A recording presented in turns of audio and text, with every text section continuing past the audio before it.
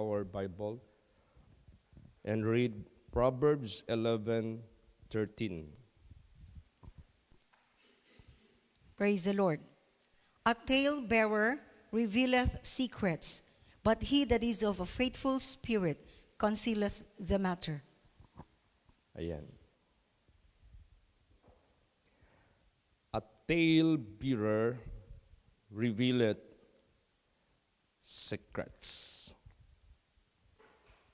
Ibig sabihin yan, yung, ano ba yung tale bearer? Alam mo yung tail? Ano ba yung tail? Buntot.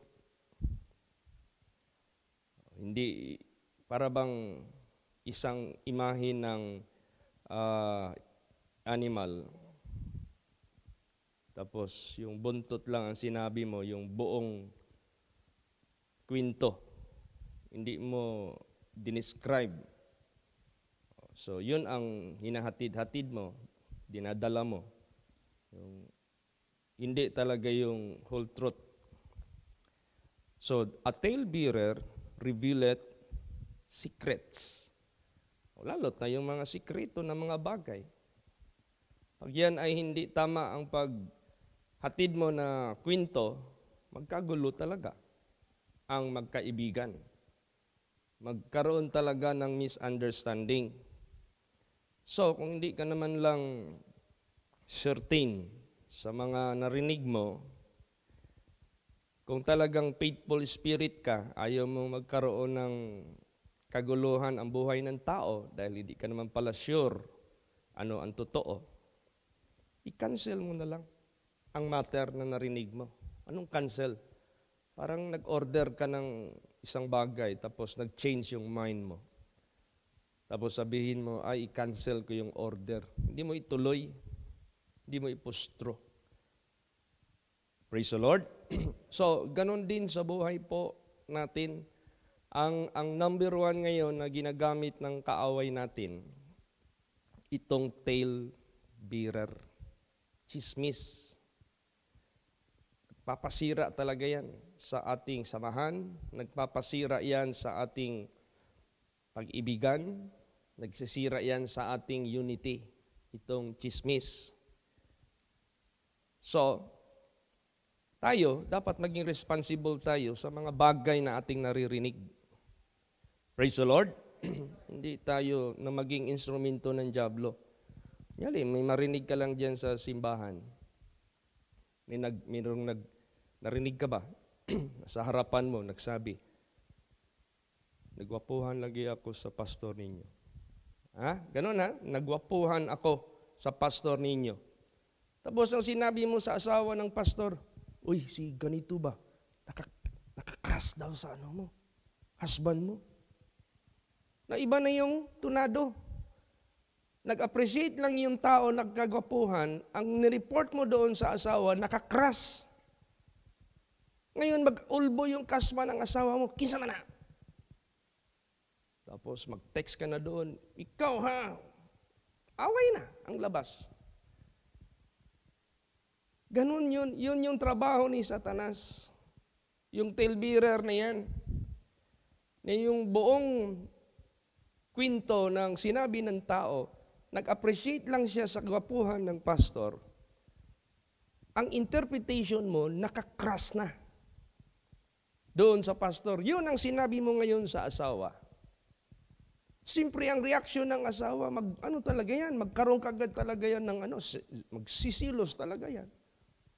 Without asking the person na tinuturo ng chismosa o chismoso, tinex mo na ng tinex. Huwag ka nang magsimba. Kung ang aking malang husband ang sinisimba mo, tinan mo ang layo ng ano, ng impact Nag-appreciate lang yung tao.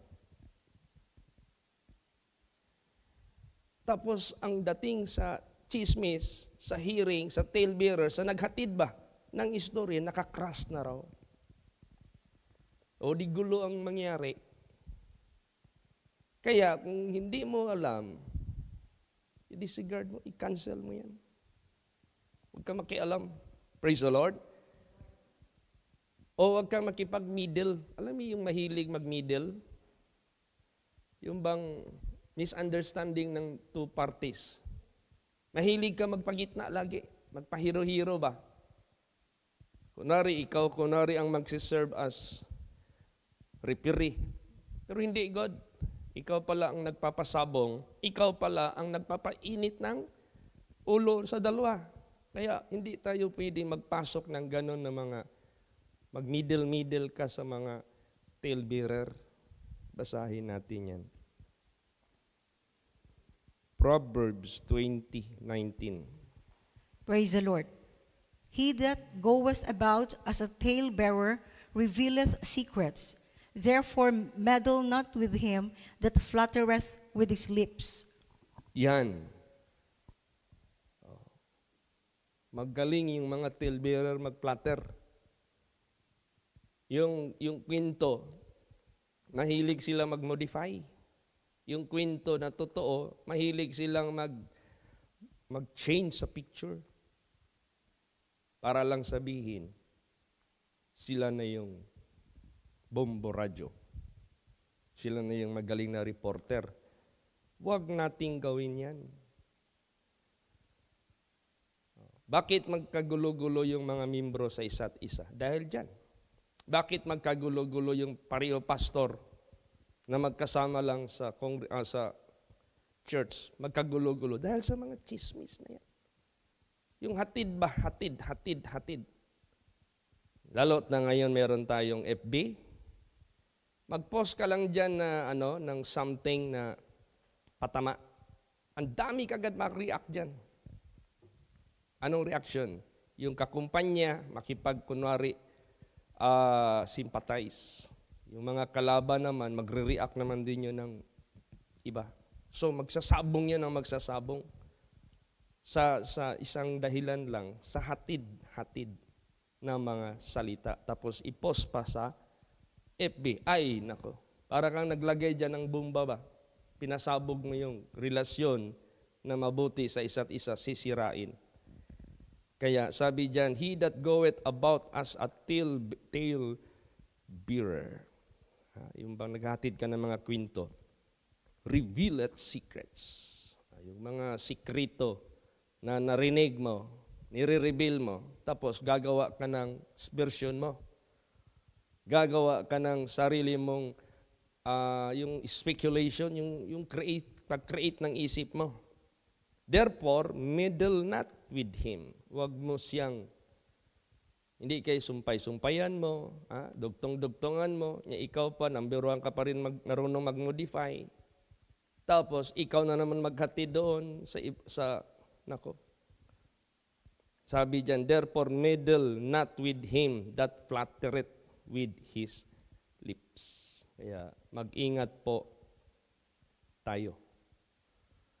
Hindi yan ang ministry pinagawa ng Diyos sa buhay natin na mahilig ka mag-discover ng mga sikrito sa ibang tao. Hoy, that is not our business. Praise the Lord. Hindi yan business natin. That is not our business. Kasi ang danger kasi niyan, every word, every statement may pagbabago. Yung example lang yung telephone game, di ba? Sampung tao. Magbulong ako dito. Ang ibulong ko dito, gulay. Pasa. Pagdating doon, din na yung gulay. Patay na yan doon, patay. Basta may lang sa last. So, ang, ang, ang laking diferensya. Mula sa gulay, naging patay. Kaya, sa buhay natin, cancel the matters. Keep your mouth shut. Keep your mind shut. Huwag ka makipag-middle. Kasi mababago talaga ang kinwento sa iyo. Tapos yung nagkwento pa sa iyo, flattery, lips. Magaling mag-modify ba ng kwento. Ang pinasa pa sa iyo, hindi pa accurate. Tapos nakipag middle ka, dagdagan mo naman ng dagdagan, pag makarating na yan doon sa concern, uulbo talaga ang kaspa. Sasabog yung tainga. Tapos yung tao na sinasabi nyo na nagsabi ng ganito sa kanya, hindi pa alam na may nakarating na report doon sa tao na kanyang sinabihan kahit dahil sa mga chismoso, chismosa. Pagdating doon, umatake yung tao na nakarinig doon sa person na pinagkikwentuhan ninyo na hindi niya alam. Sabog ang relasyon sa isa't isa. Kaya wag nating gawin yung business ni Satanas. Actually, business yan ni Satanas eh. Alam niyo yung sabi ni Jesus ng Diyos doon sa kitaning, Hoy, anong ginagawa mo dito? Paakyat pababa. Paakyat pababa. Ano anong ginagawa niya? Slanderer. Yan ang trabaho ni Satanas para sirain yung relasyon sa mag-asawa, relasyon sa magkaibigan, relasyon sa mag pareho pastor, relasyon pareho membro, sisirain niya ni Taning. Ang trabaho ni Taning, go and up. Down and up. Ganon. O up. Ha? Up, down. Basahin natin. Leviticus 19:16. Praise the Lord. Thou shalt not go up and down as a talebearer among thy people, neither shalt thou stand against the blood of thy neighbor. I am the Lord. Yan. Magpatayan talaga yan. Meron naman nag- magpapatayan dahil lang sa chismis. Totoo man yan. Thou shalt not go up and down as a talebearer among the people. Neither shalt thou stand against the blood of thy neighbor. I am the Lord. Ah, ikaw ang naging dahilan, nagpatayan yung dalawang tao na yan. Dahil sa hatid sundo, hatid sundo na istorya. That is not the business na binigay ng Diyos sa atin. Yan yung business na binigay ni Satanas sa kanyang mga cohorts. Dahil yan ang trabaho ni Taning. Trabaho ng Diablo yan. Para siraan ang isa't isa. Kaya tinan mo yung revelation ni Jesus Christ sa vision. Yung nag-gather ka tayo dito, yung bago mag June 15. Tapos may mga devotionals, tapos pinakita sa vision bigla na yung devotional na yun, ang mensahe doon ay huwag mag-awayan, huwag magsamaan ng loob. Tapos sabi ni Lord Jesus Christ sa vision, pag uwi ninyo, susubukan ko kayo. Kung ma-apply nyo ba yung aking message na binigay sa inyo. O, tingnan mo, marami nagtitek sa akin, puro chismis. Sabi ko, huwag kayong maniwala niyan. Huwag kayong maniwala ng hatid. Hatid-hatid na mga kwento. Kung gusto ninyo, kung sino yung tao na yan na sinasabi ninyo, yung sinasabi sa inyo na hindi maganda, tawagin mo. Kayong dalawa mismo mag-usap. Hindi ka, dami ka ng pinasabog, pinasabog kung saan-saan, kinikwento, kinikwento. Hindi pa mga nakausap yung tao na pinagsasabi nila may sinabi sa iyo. Kaya sabi ko, antindihin ninyo yung revelation ni Jesus. Susubukin niya lahat. Kung i-apply ba natin yung Word of God at gagamitin ngayon ng Diablo, number one, to, to destroy your relationship to each other. Talebearer. Chismis. Yun ang mangyayari. Babaguhin, i-platter. Pag sinabing platter, baguhin yung statement ng isang tao papunta sa isang tao. Tapos merong mag-middle dyan na maghatid-hatid ganun against A and B. Iba na ang hinahatid na kwento para pag initin yung ulo sa isa't isa, mag-aawayan na wala man lang dapat pag-awayan. Di sayang-saya ni Satanas. Kaya sabi diyan, huwag kayong mag-up and down as a tail bearer. At huwag kayong makialam sa buhay ng ibang tao. Nakarinig lang kayo ng something na controversy sa tao, Mag-act ka kaagad as NBI? Mag-act ka kaagad as spy? Huy, hindi yan ang gawain natin to discover secrets from other people. Sigurado yan, sasakyan ka ni Satanas. At ito, meron na akong instrumento. Mahilig ito mag-discover ng sekreto ng buhay ng iba. Ha, gamitin kita ngayon. Lahat na marinig mo, gagamitin kita. Imumodify ko yung narinig mo para mag-away yung hindi dapat mag-away. Kaya bawal sa atin mag-discover ng sekreto ng ibang tao. Ang tawag niyan, pakilomera sa ibang buhay ng tao. Praise the Lord. Bawal yan. Basahin natin yan. Proverbs 25 verse 9. Praise the Lord. Debate thy cause with thy neighbor himself, and discover not a secret to another. Yan.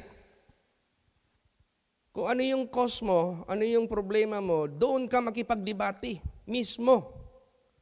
Sa kapitbahay mo, siya mismo, yung sino yung tao na yan. Siya yung kausapin mo, hindi ka ipasapasa mo pa. Sabi ni ganito, Oy, Pastor Chit, ganito daw ang sinabi niya. Sabi ko, saan galing ang source? Sabi nila, eh yung mga ganun ba? Istorya nila. Yun daw, istorya doon sa lugar na yan, sa Davao. Istorya daw, istorya daw. Ang sinabi sa Bible, debate your cause to your neighbor himself, siya mismo. Praise the Lord. Kung meron kang kailangan i-clarify, huwag mong i- ikwento-kwento kung saan-saan. Tapos mag, magpaimot-imot ka kaagad dyan sa FB. Dinadamay mo pa yung mga taong walang kaalam-alam. Dinadamay mo pa yung mga taong hindi dapat madamay. Bakit hindi mo nalang idibati doon sa neighbor mo himself? Kung gusto mo mang kaya ng ano, clarification, doon himself. Pag sinabing himself, siya mismo. Praise the Lord. And do not discover the secret of another. Bawal yan. You have no authority and you are not in the position to discover the secrets of others. Kasi ang danger kasi dyan, mababago. Siyempre gusto mong i-discover yung secret ng tao. Magtanong ka ba? Hindi ka man makadirect doon. Kasi ayaw mo man mag-direct doon. Kaya baka sabihin niya, nagpasangil ka. O magtanong ka ngayon sa palibot. Eh yun naman nakapalibot, puro daw. Maudaw. Matod pa. Puro mga chismis. So, wag ka na nang mag-discover ng sikreto ng iba. Kung gusto mong dis- i- malaman yung sikreto ng iba, siya mismo, kausapin mo ng totoo. Praise the Lord. Kasi diyan nagsisimula ang gulo. Sa tail bearer. Ha? Gusto mong tahimik ang buhay? Huwag ka makipagkaibigan ng chismoso tsaka chismosa. Tahimik ang buhay mo. Peaceful. Eh wala mang maggatong. Kasi ang trabaho kasi ng tail bearer, gumagatong. Kahit walang apoy, lagyan ng apoy. Kahit walang problema, lagyan ng problema. Kahit walang kolor, lagyan ng kolor. Para lang magkagulo-gulo. Kaya yan ngayon ang napifail ko na ikot ni Satanas sa mga anak ng Diyos. Itong tail bearer. Kaya ito yung tinatawag na ah, alert sa lahat. Huwag mag-act as tail bearer. Praise the Lord. Huwag kang maghatid ng mga istorya sa ibang tao na narinig mo lang din sa iba. Na kinuwinto lang din sa iba. Kwinto-kwinto. Huwag. Kasi mababago talaga ang statement. Sigurado yan, 100%. Para maputol yung kaguluhan, maputol yung banggayan, maputol yung lahat ng mga hindi na nagkaunawaan. Ano dapat putulin? Tail bearer. 100%. Wala nang gulo. Praise the Lord. Praise the Lord. Basahin natin. Proverbs 26. 20 hanggang 22. Praise the Lord. Where no wood is, there the fire goeth out. So where there is no talebearer, the strife ceaseth. As coals are to burning coals, and wood to fire, so is a contentious man to kindle strife. The words of a talebearer are as wounds, and they go down into the innermost parts of the belly. Grabe. Grabe yung ano talaga. Yung dating sa mga chismis. Pag makarating doon sa concern, alam mo anong dating? Papasok sa inner hanggang belly. Dama mo talaga yung kapaitan, dama mo talaga yung parang uusok na yung ilong mo sa galit. Eh kung yung tao na yan hindi naka-apply sa Word of God, gulo ang mangyayari. Patayan pa. Posible pang patayan. Kasi ang iniisip niya, sinisiraan ako ah. Kinakalaban na ako ah. Hinahamon at yung marami ng mga bagay-bagay na mag-arise para magpatayan. Na hindi naman dapat ang dahilan lang talebearer, hatid-hatid doon, hatid-hatid ng kwento na nababago. Para walang stripe, ano yung stripe? Awayan. Walang talebearer. Hinto yan. Praise the Lord. Ang, ang an example dyan, kung walang apoy, walang kalayo. Oh. Kung meron tigsugnod o baga, mag-apoy yan. Pag mag-apoy yan, sunog kung saan yan makakarating. Eh lalot na tayo. Let us be responsible using FB. Let us be responsible using Messenger. Let us be responsible using text messages. Kasi you are conveying message. Huwag kang mag-convey ng message na matod nila, matod niya, ingon daw, tapos maghatid ka doon sa concern, pagdating doon, ito na. Sabi diyan, nagagatong ka na ng apoy. O kung faithful spirit ang nasa iyo, cancel the matter. Praise the Lord. I- iparating ko kaya ito sa concern sa narinig ko. Cancel mo yan. Do not act as a talebearer na hatid-hatid ka kung saan-saan. Di ba sinabi ko na yan dito? That is the business of God. And God doesn't need to discover our secrets because He knows every secret thing. And there is always a consequence from God. Hindi mo na kailangan i-chismis yan para parusahan siya ng Diyos. Do you think mahanap ang Diyos ng messenger dito para mag-witness sa Kanya? No. Hindi na kailangan yan. God doesn't need such kind of work na merong maghatid-hatid para ang Diyos mag-judge sa isa't hindi. Hindi na kailangan yan ang Diyos. Kaya nga every secret thing, God will bring it to judgment, good or bad. So, no talebearer, no stripe. Parang uling, pag hindi mo yan ginatungan, hindi yan magsiga.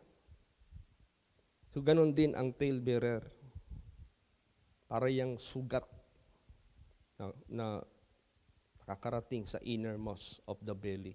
Masakit ang mga kwento-kwento na makakarating sa iyo pag yan ay dala ng talebearer.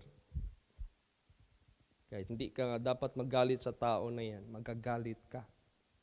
Kahit hindi ka dapat magkaroon ng hatred sa tao na magkaka-hatred ka sa kanya. Ginatungan eh. Yung pala appreciation lang, walang malis. Tapos ang nakarinig, pinasa, nakakras daw. O di sira ngayon ang tingin mo sa tao na yan. If you have cause, talk to your neighbor himself. Praise the Lord. Tapos kung magkikusap ka, hindi, dala-dala mo yung galit mo, pag-approach mo sa kanya, di mag-upak na kayo. Approach with kindness and humbleness.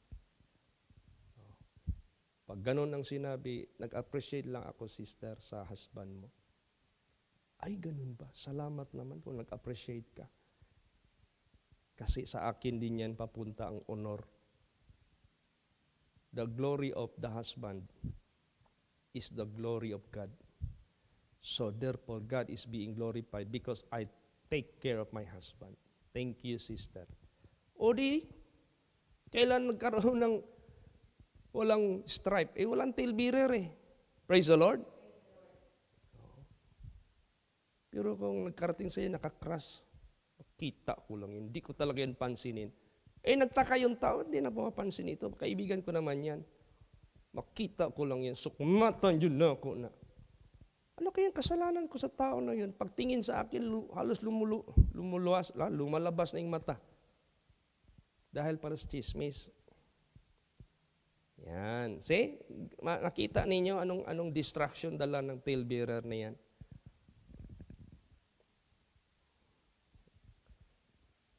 Basahin pa natin. Proverbs 16:29. Praise the Lord. A violent man enticeth his neighbor and leadeth him into the way that is not good. Yan. Alam mo na yung tao na yan, nagsasalita ng against isang tao na mag, magkokos ng violence. Ipahatid mo pa doon. Dapat, huwag mo nang ihatid doon.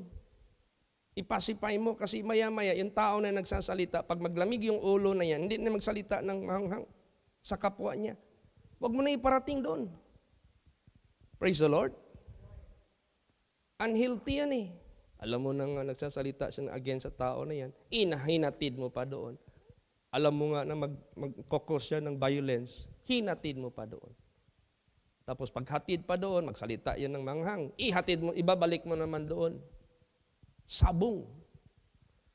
Samantalang kinansel mo yung matter, naglamig yung ulo ng tao, naghingi ng patawad kay Jesus, tawarin mo ako, Lord. Sana hindi makarating yun sa aking sinasabihan na hindi masama. Forgive me, Lord. I will not do it again. Kung walang tail bearer, walang strife. Nag-heal lang siya sa sarili niya. Praise the Lord. Kasi walang tail bearer. So, pag, pagtagpo ng dalawang tao na yun, kahit may nasabi yung isa na manghang doon, pero nagsisi siya afterwards, normal lang. Wala. Walang damage that has been done. Kaya ganun po ang gusto ng ating Panginoong Diyos. Violent man enticeth his neighbor and leadeth him into the way that is not good. Tapos ihatid mo ngayon, di sigurado, maglilid talaga yan na hindi maganda. Huwag tayo mag-raise ng false report. Ah, Kailan ba mag- maging false ang report? Pagpasa-pasa. 100% yan. Pagpasa-pasa, nakailang pasa na, mag-iiba na yung kwento. Huwag mong erase yan. Huwag mong i... Alam mo, erase, parang plug, i-erase mo. Huwag. Sigurado magkakamali tayo dyan. Basahin natin. Exodus 30, ah, 23, 1. Praise the Lord. Thou shalt not raise a false report, but not put not thine hand with the wicked to be an unrighteous witness. Yan. Kasi, pag mayroong mga false reports, mayroong agenda yan. Ah, anong agenda sa false report? Para siraan ang tao. Para i-accuse ang tao falsely. So, magre-raise up ng false report. Ikaw naman na anak ng Diyos, huwag kang makisawsaw sa wicked na maging unrighteous witness ka na magwi-witness ka rin against your neighbor sa gustong i-raise na false report sa kalaban niya. O so anong mangyayari ngayon? Gulo ang mangyayari. So naging instrument ka ng Diablo as a false witness. Because the false report is being raised, sinausawan mo. Nakisali ka. Na hindi ka naman dapat sasali diyan. Ganun. Ganun ang ano ng ano ng tail bearer yung trabaho, makisawsaw sa ibang kwento ng ibang tao.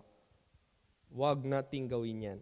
Be not instrument of wicked as unrighteous witness. Kaya, warning ito sa lahat ng mga kapatiran, ng mga minamahal kong kapatiran, minamahal kong mga kapwa pastors. Let us embrace one another by love, by compassion, by kindness. Let us not Satan destroy our mind, our heart against each other because of the tale bearer na yan. Maghatid-hatid ng mga istorya.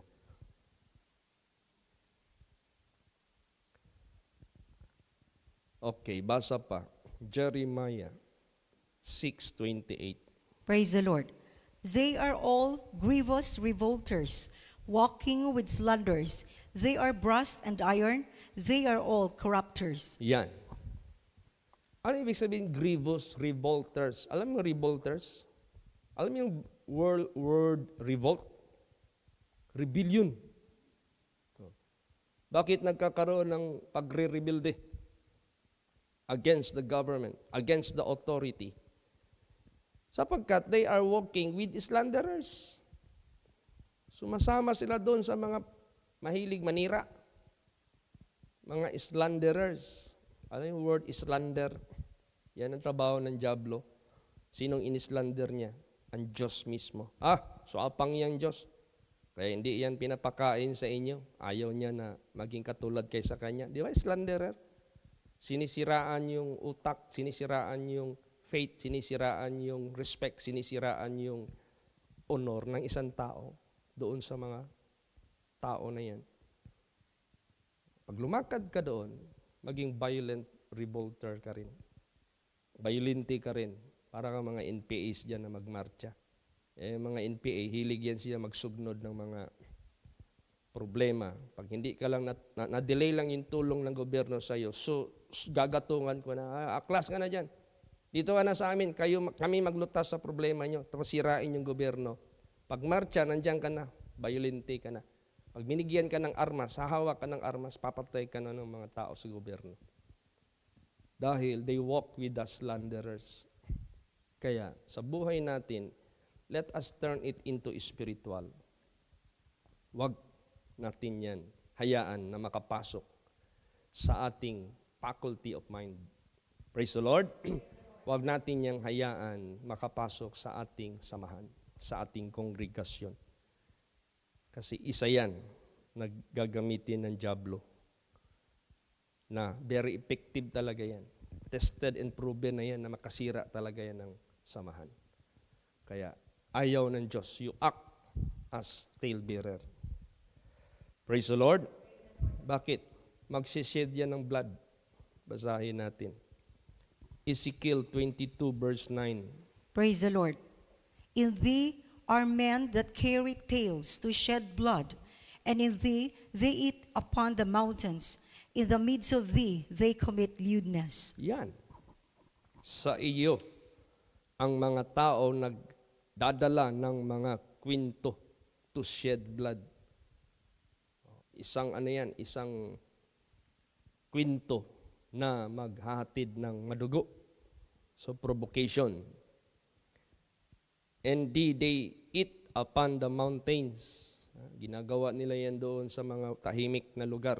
Doon sila magkainan, sumsuman ng mga kwento ng ibang tao. And in the midst of thee, they commit lewdness. Oh, Ibig sabihin yan, kapag sinabing lewdness, lustful of the flesh. So, anong gusto ng Diyos sa buhay natin? Lumayo tayo dyan. Praise the Lord. Uh, be it far from us. Ipalayo natin yan sa isip natin, sa puso natin, sa karakter natin, sa attitude natin. Dapat wala yan. Kung bi- bibiktimahin man ni Satanas yung mga membro natin, advise natin. Hindi kaya ikaw yung gagatong.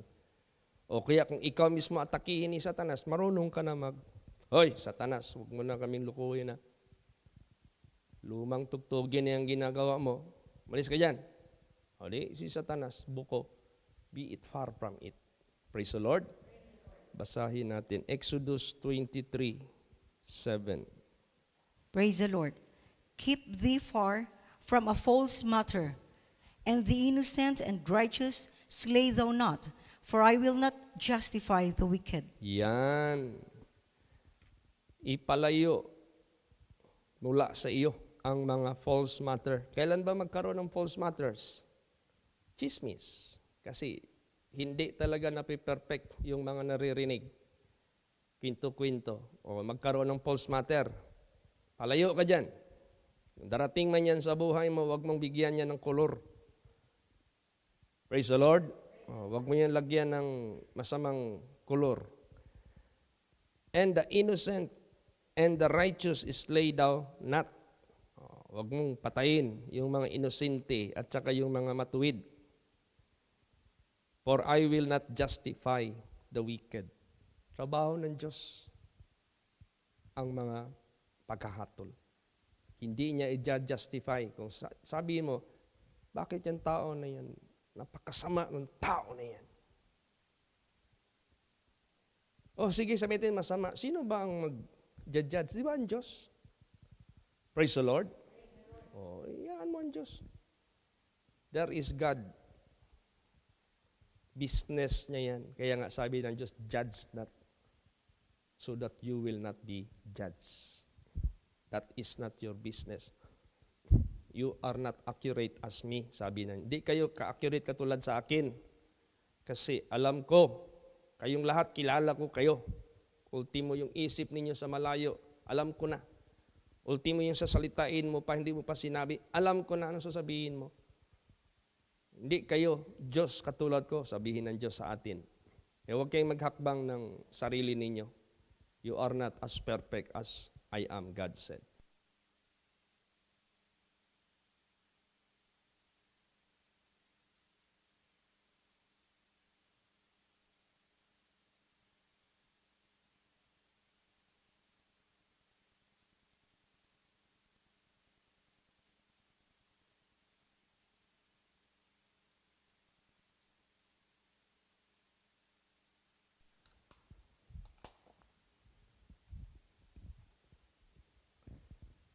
Alam nyo ba, si Lord Jesus Christ mismo ang Diyos na nagpakatawang tao na perfect at ating tagapagligtas. Siya mismo biktima sa chismis. Talebearer, false accusations, lahat-lahat. Basahin natin yan. Matthew 26, 60 and 61. Praise the Lord. But found none. Yea, though many false witnesses came, yet found they none. At the last came two witness, at the last came two false witnesses, and said, This fellow said, I am able to destroy the temple of God and to build it in three days. Yan. Wala na silang makitang ano, accusation. Ultimo yung salita ni Jesus na repairing sa katawan niya. Ginawa nila ng isyo. Pag sabi ni Jesus, I will destroy this temple in the th- three days, within three days, I will raise it up again. Issue yun. Ang charge nila kay Lord Jesus Christ, ano itong taong ito ah? Itinayo itong simbahan na ito. Matagal kaya itong ginawa. Tapos sisirain niya lang. Oh, tingnan mo. Yung pala, ang gustong sabihin ni Jesus, katawan niya yon na mamamatay siya. Temple ito eh. In the third day, mababanhaw siya, maresurrect siya. Ginawa nila yung isyo kay Lord Jesus Christ. Praise the Lord. O kaya, ganun sa buhay natin. Ang mga talebearers, ang kanilang expertise, making issues sa buhay ng tao na hindi naman nila dapat pakialaman. Kaya sa buhay natin, do not act as a talebearer, nor stand as a false witness. Wag. Kung sinabi man yun ni Lord Jesus Christ, hindi mo alam what is His motive, why He said, later on nalaman, yung pala, He's telling about His body, not the temple itself. Literal. O di nagkamali sila. Praise the Lord. At yung accusation na yan, it caused Jesus to die. He was judged to condemnation, to be crucified. Imagine that. Basa pa. Acts, last verses, si Jesus pa rin ito. Acts 6:11 hanggang 13. Praise the Lord. Then they suborned men which said, We have heard him speak blasphemous words against Moses and against God. And they stirred up the people and the elders and the scribes and came upon him and caught him and brought him to the council and set up false witnesses which said, This man ceaseth not to speak blasphemous words against this holy place and the law. Yan. Mismo ang ating Panginoong Heso Kristo na walang masamang motibo, walang kasalanan, walang ibang purpose kaniyang mga sinasalita is to save the people of the world. And yet, itong mga chismoso-chismosa na ito, ginawa nila ng masamang kulay. Kiss you blasphemous daw yung mga sinasabi ni Lord Jesus Christ. Kung ano na lang ang charge nila kay Lord, they, they steer up the people. Alam mo, steer? Kinukutaw yung mga tao para mag alsa against kay Jesus.